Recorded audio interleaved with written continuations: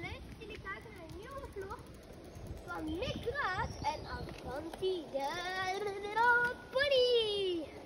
Vandaag zijn we dus helemaal naar het smokkelaartje gefietst. Wie dat niet weet wat het is, dat is een randje waar lekker kan eten en lege ballenbak. En nu zijn wij, we waren op de fiets heen. En ondertussen was papa ook nog even in de sloot gevallen. Maar ja, dat was niet heel erg. En uh, vanavond komt er een game video online. Maar dit is natuurlijk het leukste. En uh, ja, dat was het eigenlijk. Want ik heb eigenlijk niet zoveel te zeggen. Doei! En abonneer nog even. Ja, doei.